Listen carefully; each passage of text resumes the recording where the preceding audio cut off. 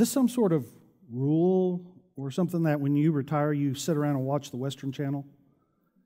I, my father in law does that. I mean, he, he's got like a great lazy chair and he sits around and watches Westerns all the time. I mean, you've seen one, you've seen them all, right? Oh. One of my favorite movies, of course, is Tombstone, so I'm not throwing any rocks. That's, I've, I've seen it so many times, I've got it memorized. I love the 1800s, though. I love the Old West. like watching movies about the Old West and the 1800s and the good guys and the bad guys, and the Lone Ranger and the Silver Bullet and all that. There's a trope that exists within the whole Western genre, and you're familiar with it. I know you are. You know, when they have those Western boom towns that just kind of spring up out of nowhere, maybe somebody found gold or silver, but then this city just kind of appears, a little town. And there's something that happens in that town that creates a lot of excitement when the traveling medicine man comes to town. You know what I'm talking about. It, you've probably seen this picture, something like this. You know, the guy that's got the little wagon and it's, you know, old medicine show. What, what would happen? This, it's not really a, an invention of Hollywood. This really happened. These traveling medicine men, they would, they would send out some of their helpers to the city next on down the road, and they would plaster posters and billboards and banners and all kinds of things, generating a lot of excitement about this guy that's coming. And it was, for the most part, it was entertainment. They'd have the muscle man. He'd come in and do great acts of strength. Or they'd have the bearded woman. I'm not going to point any fingers. They'd have the bearded woman there, or they'd have the dog in the pony show. But that was all there to create a lot of excitement, get a big crowd to watch the things happen that would happen right there on the street. In between acts, the medicine man, he would begin his sales pitch for something that he possessed that was a miracle cure. A lot and he would have a whole list of things that these cures or elixirs would take care of. And, and he, he was very clever. He would take people that, he'd hire people and plant them out in the crowd. And so whenever he'd say something like, you know, if you've got explosive diarrhea, this will cure it. Somebody in the crowd would say, I had explosive diarrhea yesterday and it cured it, you know, and everybody's like, I want some. That's how he'd do that. That's how they'd sell that the tonics, the elixirs, the, the potions, they only mask the pain. Uh, most of those things contain large amounts of alcohol or morphine. And that's what they would do. I mean, it was just so if you had this ailment, it would just kind of mask the pain and you would think that you were cured. Some of the most exotic elixirs that were sold would, would they, they would market it that it would contain this thing called snake oil. You've heard of that, right? A snake oil salesman? That's, that's where that comes from. They would, they would say, You need to buy this, it will cure this explosive diarrhea because it's got snake oil. And people would give away their hard earned money. One of the more popular elixirs that existed actually contained cocaine. Hmm. it's still on sale today.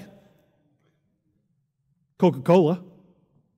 That's where Coca Cola come from. Was from these guys. It contained. It don't contain co- cocaine anymore, of course, but well, maybe new Coke, but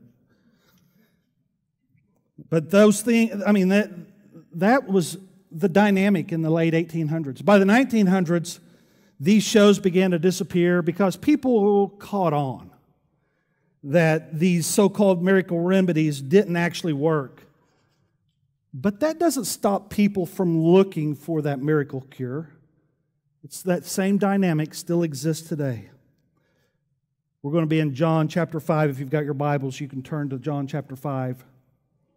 What we're going to read here is the ultimate physician that heals. This is Jesus here in John chapter 5. He is, began his public ministry there in Galilee and he's done all kinds of teachings, healings, and miracles. So the first year of his, of, of his time with his disciples it was a year of obscurity. He wasn't well known. In fact, you remember the story of turning the wine or the water to wine in Cana. He wanted every, it's not his time, but now it is. And so he's growing in popularity. His name's getting out. And as he grows in popularity, so too does the opposition. The religious leaders can't stand him. Of course, he calls into question everything they teach and, and their way of life. However, here in the beginning of John chapter 5, it's time for the Jews to celebrate what they call a feast.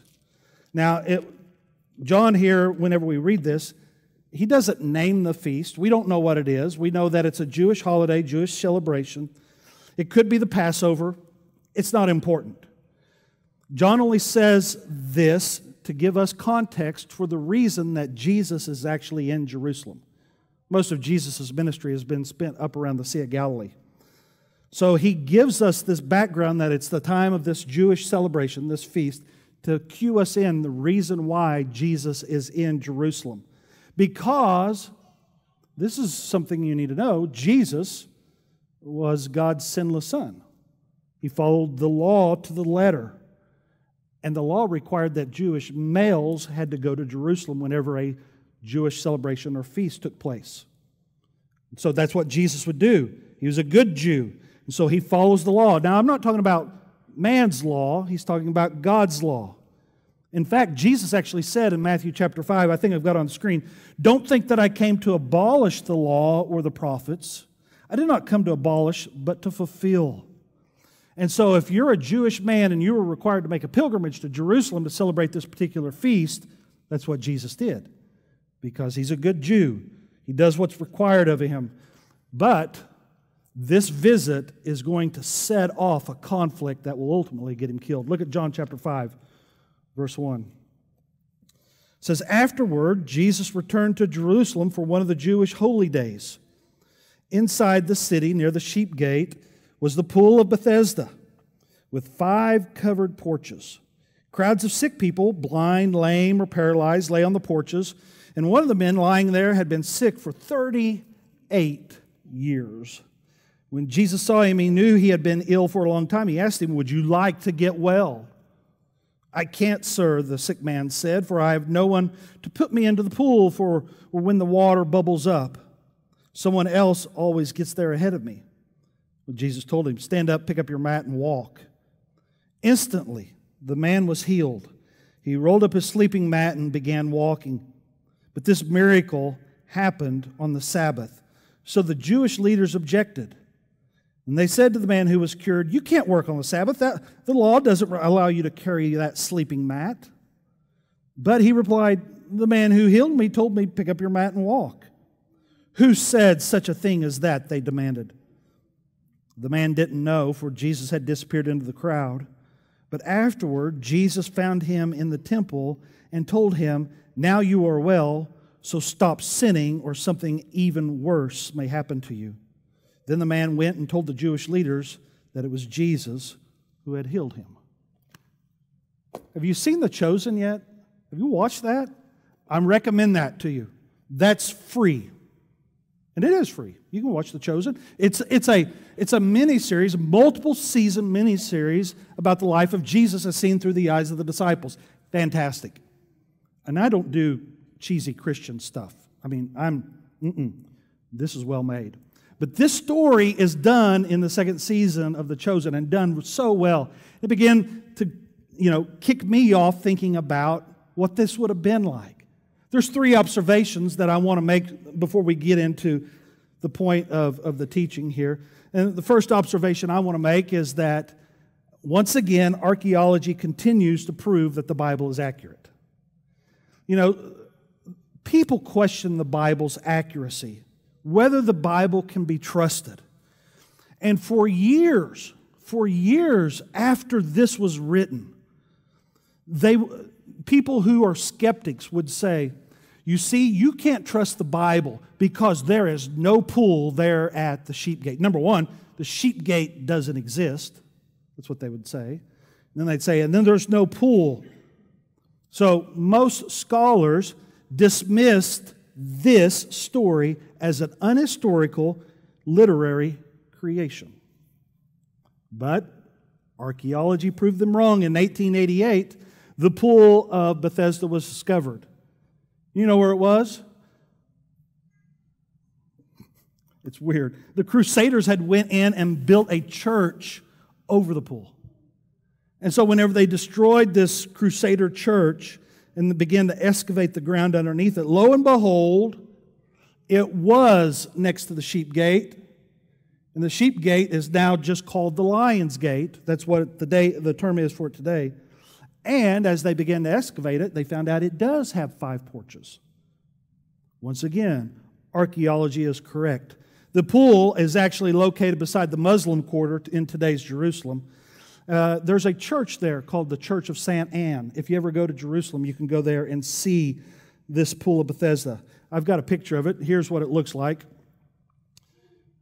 That's what it looks like. Now it's kind of broken down, and, and, but you can still see that it's something. Bethesda actually means uh, it means house of mercy. That's what the Hebrew term for it is, the house of mercy. So this invalid, this paralytic man, he had went to the house of mercy seeking mercy.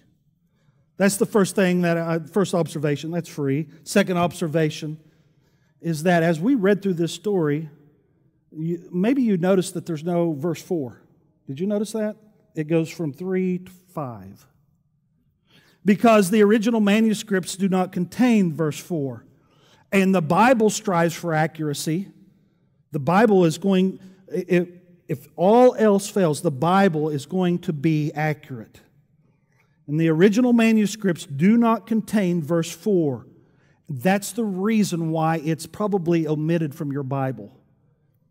Now, some translations later from the original manuscripts contain this verse 4, uh, but it was probably added by a copyist in order to give people like you and I in the future some idea of the significance of what's going on here. And here, here it is, if, you, if your Bible doesn't contain verse, the end of verse 3 and 4, here's what it says. So I'll just start with verse 3. And it says, Crowds of sick people blind, lame, or paralyzed, lay on the porches. Now, here's where it picks up waiting for certain movement of the water. For an angel of the Lord came from time to time and stirred up the water, and the first person to step in after the water was stirred was healed of whatever disease he had. So in 1888, they found the Pool of Bethesda, and it, whenever it's finally excavated in 1964, what they realized this was actually a temple dedicated to the Greek god Asclepius. Asclepius is the Greek god of healing, the god of medicine. And so apparently, the sick and the invalid would gather here and they would lay on the steps leading down into the pool. And that pool was actually fed by a spring from underneath the city of Jerusalem. And every so often, it wouldn't flow all the time, but every so often, that spring would flow and it would create bubbles in the pool. And there was a superstition, a stupid stition, if you will, but there was a superstition that when it began to bubble, it was actually angels coming down to play in the water. And if you could get in there when the angels was there, you'd be healed. And that's the reason the man was there. So if you can imagine that scene, all of these blind men, all these deaf people, the people that were, were paralyzed, all lounging around the steps of the pool, watching and waiting. And you know, if you're blind, you can't see when the pool bubbles. If you're deaf, you may not hear it. And if you if you're lame, you couldn't make it down in. So most people, if they were unable to make it in the pool, had an assistant that would pick them up and carry them down the pool. If you go back and watch that, that episode of The Chosen, and you can see people carrying their, their friends down in the water. So that's the second observation is that four. That's the reason why chapter or verse four exists to give us a little bit more context about why people were there. There's actually a Greek temple of healing, Asclepius. The third observation that I want to make here is that uh, the man that we see here, he's desperate. Uh, in fact, he's beyond desperation. I mean, 38 years this man has lived with this debilitating illness. You know, that's, that's longer than the average life expectancy of most Hebrew men. I, and it, the scripture doesn't tell us what was wrong. We only know that he was basically paralyzed from the waist down. And he had been this way for 38 years. Can you imagine? Don't you think he had probably been to every physician in Jerusalem looking for a cure? Nobody has been able to cure him. You know, while, while he was there in Jerusalem trying to find some sort of cure, why not take advantage of this temple of healing, of these waters that were said to be stirred? I mean, when you get to that point of an illness, 38 years, you're going to do whatever it takes and you're, you're going to try everything. I guarantee you, most of us in that state, although we would have been skeptical of the angel, most of us would have attempted it, right? Let's at least try it. 38 years this man went there or had somebody take him there. And he would lie beside that pool waiting for the waters to stir. The same thing happens in our culture today. There's a city in Portugal called Fatima. And, and they are convinced that you can, if you attend there and you watch and wait at the right time, the Virgin Mary appears and she provides miraculous healings there at Fatima, Portugal. I read a story this week about a, a man from New Orleans who, who was just dealing with all kinds of pain and illness. And he said he was cured when the Virgin cured him at Fatima, Portugal. Or, you know, a lot of people believe in being anointed by oil or holy water. I remember a, a time when we had somebody that I, I was friends with who, who had a loved one that was dying of cancer, and, and they wanted us to come and anoint them with oil. Some people seek out faith healers like Benny Hinn or Kenneth Copeland. You know, in, in the mid 2000s, there was a guy by the name of Peter Popoff and, and he did an infomercial late at night, and he was sell, selling what was called Miracle Spring Water. Made a bundle off of it because people are convinced that that thing right there, if it's helped someone else, possibly it could help me. We're not immune here either. You're familiar with Eureka Springs? You know how Eureka Springs got its start? Eureka Springs was that I mean it became a tourist trap because it was built on those springs there, and there was a healing superstition behind them. Dr. Alvah Jackson swears, and this was in the late 1800s, but he swore up and down that the waters from one of the springs there at Eureka cured his son's eyesight. And people began to flock there to Eureka Springs, hoping that those same mineral waters would cure them too. And those things happen all over the world today. Hot Springs, Arkansas. Siloam Springs, same, same thing. And this, so this man is no different than us today. The only difference is the superstition he chose to believe in was the bubbling waters there at the pool of Bethesda. How many, let me ask you, think of this. How many times over those 38 years do you think he failed getting in the pool? I mean, I don't know how many times a day that pool bubbled, but I guarantee you, day after day, he, you would find him in that same spot. And, and so everybody in the city would have known him. Oh, there's that guy. I mean, we, I saw a homeless person yesterday on the street down in Fayetteville, and she was there last week. I mean, I've only seen her twice, but it burned in my mind. You see that same person, same spot. But he's been there for 38 years trying to get in the water. And he's just, can you imagine? He's just so discouraged. Every time the water stirred, someone less disabled than he is beats him into the water. I mean, he has lost all hope that he would ever be whole again. And there's two truths that we see in the story here. If you got your piece of paper, we'll fill this out. Number one, this story illustrates the grace and mercy of God. Out of all of the sick and afflicted there at the pool, Jesus zeroes in on this one guy. And they had never met, But Jesus somehow knows this man's situation. He knew that he had been there for a long time. Uh, it's like Jesus has some sort of supernatural knowledge, which of course he does. You see, not only is that true for that man, Jesus knows you too. He knows your longings, your desires, your sufferings, your pain, just like he knew this man. And he walks up to the man and he asks him one question. And I love the chosen. I wish I could have showed it, but in the chosen, he, he squats down and gets eye to eye with the sick man. He just stares at him and he says, Do you want to get healed? Do you want to be well? I mean, what a strange question to ask, right? It's like, duh, I've only been here for 38 years trying to get in the water. No, I don't want to be healed. I'm just kind of hanging out. I mean, what a strange question to ask. Of course, he wants to be healed or he wouldn't be here.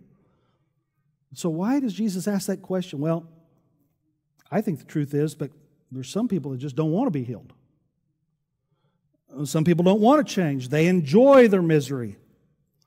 They enjoy the pity that is afforded them. You see that somehow their identity is wrapped up in their brokenness and their, their handicap. Sometimes people just enjoy their sinful condition. They find a morbid sense of pleasure out of that sin, and they're not willing to give up their addictions. You know, they depend on their unfortunate condition for financial resources. You know, it, sometimes it's just easier than working or laboring. Sit here and put my hat out, alms for the poor. It's easier than digging a ditch. And so maybe they've just surrendered to their plight.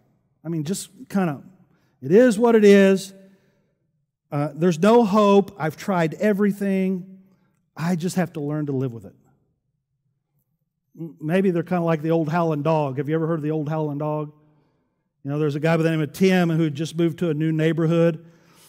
And his neighbor had this dog that kept howling nonstop every day. Ow! And Tim could not stand it anymore. So he just got up one morning and he walked over to his neighbor's house just to see what the problem is. When he gets to his neighbor's house, there's the dog on the porch, and there's his neighbor sitting in the rocking chair right next to the dog, reading the newspaper and drinking some coffee. And Tim just looks at him and says, Is this your dog by any chance? It's been howling nonstop. And the old man kind of drops his paper. He says, Oh, I'm sorry about the howls. I hope it's not too distracting. I hope it doesn't bother you. And Tim just looked at me and goes, But why is why does he continue to howl? The neighbor said, Well, he's sitting on a nail. And Tim says, Sitting on a nail? Why doesn't he just get up and move away from the nail? And the old man just kind of took a drink of his coffee, coffee and put the paper down and he said, Well, he doesn't find it painful enough yet. See, the apparently the effort to change his circumstances was greater than the pain he was experiencing we do that too. You know, continue to lay on the nail and howl about it rather than get up and do something about it. You see, that's the reason why Jesus asked him that question. Jesus wants, wants him to come to the end of himself. Are you ready to be healed? Are you willing to be healed? So his question is valid. Not everybody wants to change. Some people are satisfied with the status quo. Some people are unconvinced that change is even possible. They would say, I can't change. Some people just aren't willing to put out the effort. Some people aren't necessarily uh, willing to do what's necessary to change. You know what? Even if it's a matter of life or death, some people aren't willing to change. Quit smoking or you will die. Your, your lungs are caked. Well, you know, I just can't change. You know, when, when somebody asks that question, do you want to be healed? Normally, you'd expect an enthusiastic yes. Yeah, I want to be healed. This guy, he gives the answer like it's a stupid question. He doesn't directly answer him, and instead, he just gives an excuse. I ain't got anybody to put me in the water. He says he's helpless, he's a victim. Nobody is here to carry me in the water. But that's exactly what Jesus wanted to hear because he is admitting that he does need help and he can't do it on his own. I notice in the story, he never asks Jesus for healing. He never pleads with him to, to take care of his ailment. Instead, as Jesus is sitting there looking at him and saying, Do you want to be healed? He still continues in his mind to believe that that pool is, is the healing power that he needs. He doesn't realize that the healing power he needs is right in front of him. And how true is it for us in our culture that people want to lay around and moan about their conditions when Christ is right there saying, I can take care of these problems? You know, I, I think the sick man was just looking at Jesus thinking, maybe this guy will stick around and he'll be the one to get me in the pool fastest. He'll be willing to wait it out with me. Jesus had other plans. Look at, look at verse 8. Matthew 5 8. Jesus looks at the guy and he says, Stand up, pick up your mat and walk. And, and in verse 9 it says, The man is healed instantly. I mean, we're talking about a healing that's instantaneous and complete. Uh, have you ever broken arm and, and had a cast put on your arm? And what is it, like eight weeks you got to wear this cast or whatever, and then you take the cast off, and what's your arm look like? It's called atrophy. I blew my ACL out in college, and when I had surgery on my knee, and I was in I was in this like this air cast for a while, and whenever they took it off, and I had to start going through rehab, my leg had shrunk in just a short period of time. I mean, we're just talking about a week or so. The trauma to my leg was so much that the muscles just contracted and it kind of went in on itself. The same thing happens if you ever break your arm. You'll take the cast off and you'll notice that your forearm is much smaller than the other one. Can you imagine then 38 years of not using your legs? I mean, they would have just looked like little bitty chicken legs. Look like you skip leg day all the time, like Ben does. You see, but Jesus had miraculously healed this man who had not walked in 38 years. And he healed him not because of anything he had done. He healed him be, not because of any merit the guy had. He, he healed him. I mean, there's. Do you see any evidence of any conversion here? Do you see any evidence of repentance? Do you see any evidence of faith here? No. Jesus does, he, he doesn't get anything spiritual from Jesus. He doesn't respond spiritually to Jesus, but Jesus still heals him. That's what he does. He just simply heals him. You see, that's grace. That's grace. And that's the picture. That's, the, that's what we're talking about here. Grace is God's unmerited favor, it's, it's the undeserved good that we receive from God. You see, grace is not bestowed upon men because of who they are or what they've done. It's not given to you because you're worthy and withheld from the other person because they're unworthy. I mean, men are always unworthy of grace. Nobody deserves grace. But God sovereignly bestows it upon us out of His goodness and His love for us. And think about this how many, how many sick and lame people do you think were laying around that pool? Jesus zeroed in on one, he chose one. He would have been there all day healing people if he wanted. But see, that's not the reason that he come was to walk around and healing people like a physician. It's a great illustration of how I am going to zero in on you. You're important. I'm going to make a point with you. But everybody that's laying around that pool, their natural response, their thought process is if I can just do this one thing and get down in that pool, I can heal myself. And Jesus says, You don't have to do anything. I'm going to heal you freely. That's my alternative. I, I, am going to give you this thing, and everybody else is saying, I'll please God by doing these things. Jesus says, No, I don't expect nothing from you. Give it to you freely. What an incredible act of compassion and mercy. But I, you need to know this. I mean, this has not escaped you, I'm sure. Jesus is smart. And, and, and so he's purposeful in everything that he does. And so he's not just healing this man just, just simply as a kind act. I mean, yes, it is a kind act, and he does want to do a kindness for him. But the miracle's not only for this man's benefit, he purposely heals this man who was a well known invalid for 38 years because he knows it's going to draw attention, that other people are going to see it. He knows that whenever I draw attention to this, it's going to give me the opportunity to address a far greater issue. That's number two on your sheet there. The story illustrates his authority and deity. The story illustrates the authority and deity of Christ. He knows if I heal this man in front of all these people and I tell him to get up and pick up his mat, that it's going to draw attention, and that's perfectly fine with him. It's going to give him the opportunity to address the misunderstanding and misinterpretation of Scripture that the Pharisees have been spouting off for millennia. I mean, he wants the Pharisees to see their lack of submission to God and to his authority. He's bringing this thing to a head, if you will. He knows it's going to be a big deal, it's going to create conflict. And so Jesus deliberately heals this man on the Sabbath to illustrate his deity. I mean, there's, there's no better way to illustrate and show the world that you're God than to heal a man who's been crippled for 38 years. I mean, the Jewish rabbis, if you went and listened to them, they would have taught that illness is God's judgment. And so, if, if, if you are sick, God has done this to you, and you can only be healed by God.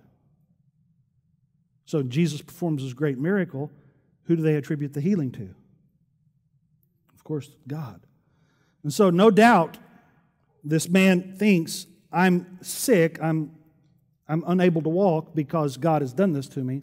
So, naturally, where would he have went to seek healing? I'm sure he'd been to the temple. I'm sure he had sought out the rabbis, asking them for healing. And the rabbinic literature does provide particular methods for healing. I mean, they had their own man made remedies. They had folk remedies. They had certain foods that you could eat. Uh, they had incantations. They, they would recite certain pieces of scripture over you. I mean, if you come in with this ailment, you, we read this to you and it's supposed to heal. But none of that had worked. However, in full view of everybody watching, Jesus cures this man. He doesn't use any of those rabbinic methods. I mean, he, he has no need of them. And whenever he heals the man, it's completely and instantly and perfectly healed by his word. He simply said, Get up, pick up your mat, and walk. He does what only God can do his deity. I mean, that's, that's an indisputable display of deity. But Jesus also deliberately heals this man because it's on the Sabbath. And he's illustrating that I have authority over the Sabbath. He's equating himself with God. So just go back and read, look verse 9. Instantly, the man was healed, and he rolled up his sleeping mat and began walking. But this miracle happened on the Sabbath. And the Jewish religious leaders saw a man carrying his mat. I mean, that's work. You can't work on the Sabbath. Uh, the Ten Commandments specifically state you're, you're to observe the Sabbath, you're supposed to keep it holy. Over the years, the rabbis had taken that, which is number four on the greatest hits of Ten Commandments keep the Sabbath holy. And so they said, well, what does that mean to keep it holy? So they come up with 39 tasks you could not do. And they still observe them today. You can't use any electricity, can't light a fire. If, in fact, you can go online and find recipes for Jewish food that you're sp- supposed to start the day before the Sabbath, and by noon the next day it will be finished, and you don't have to, you, you not have cooked. you know, if, if it's hot on the Sabbath, AC needs to be turned on. You have your Gentile friend go do it, right? You keep a Gentile around just for that. You turn on the electricity. Uh, you couldn't even walk and pluck a, a piece of grass. You had a certain limit to how far you could walk. I mean, those are all man made rules. But they contradict God's intent of the Sabbath, and Jesus wants to draw attention to this. The, the healed man, he doesn't want to get in trouble. He knows that, you know, he's carrying the mat. The rabbis see him. Why are you working? Uh, the man who healed me told me to do this. Well, who's that? Now the rabbis actually have two problems. Not only they got this guy carrying the mat, but somebody actually healed on the Sabbath. How dare they? You see, Jesus' healing would have been the same as a physician's cure, if you will. Jesus goes back to the man, though. I want you to see this. He gives him a warning. And he says, me find it. And the man didn't know, verse 13, the man didn't know, for Jesus had disappeared in the crowd. But afterward, Jesus found him in the temple and told him, Now you are well, so stop sinning, and, or something even worse may happen to you. I give you a free gift. And just like I healed your legs, I can heal your soul.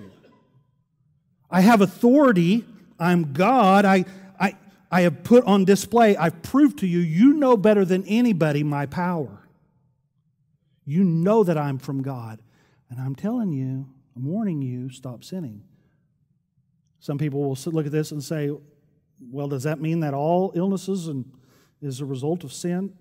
No, but it's possible. We see it right here. I don't think it's the case. I think it's a very minute percentage of cases of illness or a direct result of sin, but in this case it was. Jesus is telling him, You didn't earn my healing. You weren't good enough for it. I chose you freely. I exercised my authority to heal you. Now, turn, follow me. Pay attention to what I have to say. You know, and whenever he's finally confronted, and that's this is a whole other sermon, we won't get into it. But Jesus also has the opportunity here to reveal that he is Lord of the Sabbath, that he has authority. And so your rules may say, don't work on the Sabbath. But Jesus says in verse 17, My Father is always working, so am I. So he's bringing attention to, and he's saying, If my Father's okay to work on the Sabbath, that means I am too. Those Pharisees, that would, that would not have missed them. They knew, they knew exactly what he was saying that he's God. Jesus is saying, I have divine authority over the Sabbath. That question, though, do you want to be healed? It gets right to the heart of the issue. So I ask you do you hate your current situation, your current condition? Jesus is offering you the same question. Do you want to be well? Do you want to be healed? Do you hate your current situation bad enough to accept my offer? Even if it means you have to leave all this behind. I mean, it is a pretty neat place you know, the steps going down in the water. It's probably very beautiful. Probably have some gardens around. You know, and you've been coming here every day. You've gotten comfortable. You know everybody here.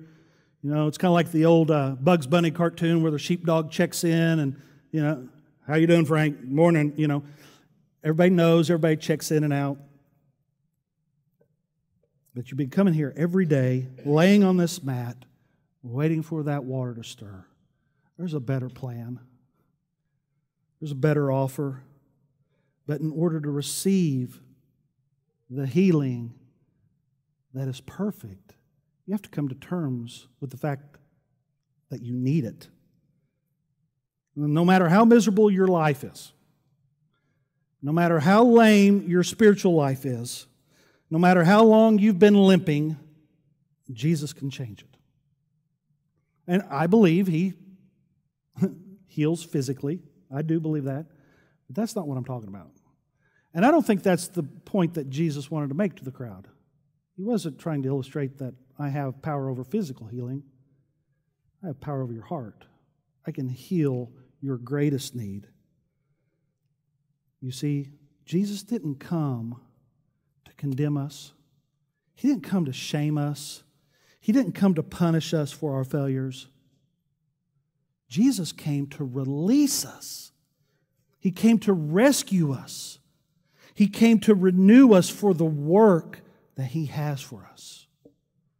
So, as you leave here, I want you to consider that question. Do you hate your current condition enough to change? Do you want to be healed? If so, turn to Christ and do it today. Let's pray. Lord, what a great God you are. Lord, and there's so many things that you do in a conversation just by using five words. And it's just the depth of that is just beyond human comprehension. Lord, I, I know that you weren't talking about a physical healing, but I, I believe you can do that. I mean, otherwise we wouldn't pray for our brothers and sisters who are ill. But I don't think that's the reason you came. Lord, I believe that you came to change our heart, to heal our heart, to rescue us from the sin that has bound us and enslaved us. That is the healing you want to do. Lord, I pray this morning for anybody that's listening that if they do not have a personal relationship with you, if they've never responded to the call and, and come to the point in their life where enough's enough, Lord, I pray that today would be that day. Lord, I am convinced you are powerful enough, you have the authority, and you are God, and you can heal us. We give you praise, glory, and honor for that great truth. For it's in Christ's name we pray. Amen.